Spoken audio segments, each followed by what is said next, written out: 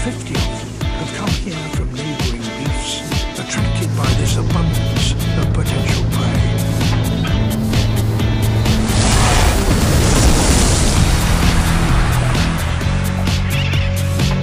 The fledglings stay out of the water if they can.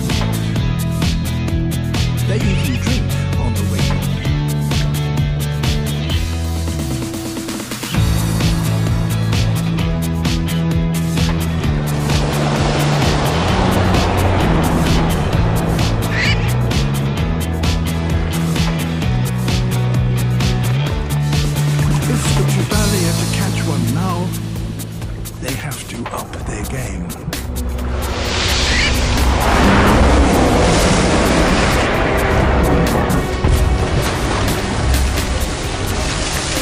So there is a fish here that, amazingly, has a brain capable of calculating the airspeed, altitude and trajectory of a bird.